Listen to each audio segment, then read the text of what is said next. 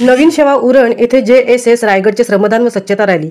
सत्तावीस ऑक्टोबर दोन हजार तेवीस रोजी नवीन सेवा उरण येथे श्रमदान व स्वच्छता रॅली हा कार्यक्रम जनशिक्षण संस्थान रायगड यांच्या माध्यमातून साजरा करण्यात आला. तसेच कापडी पिशव्यांचे वाटप करण्यात आले. प्रशिक्षिका सौ वनिता म्हात्रे यांनी स्वच्छतेवर मार्गदर्शन केले. कार्यक्रमाला उपस्थित असणाऱ्या प्रशिक्षणार्थी यांना सौ कल्पना म्हात्रे यांनी स्वच्छतेची शपथ दिली.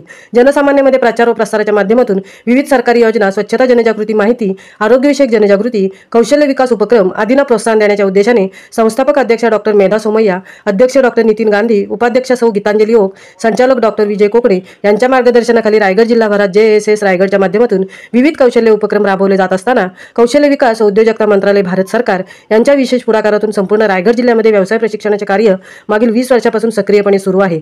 श्रमदान व स्वच्छता रॅली या कार्यक्रमाप्रसंगी सहाय्यक कार्यक्रम अधिकारी सौ कल्पना म्हात्रे ग्रामपंचायत सदस्य सौ रंजना घरत प्रशिक्षिका सौ वनिता म्हात्रे सौ सोनिया पाटील व प्रशिक्षणार्थी यांच्या उपस्थितीत श्रमदान व स्वच्छता रॅली हा कार्यक्रम उत्साहात पार पडला. महामुंबई चॅनेलसाठी मिलिंद खार पाटील नवीन सेवा उरण.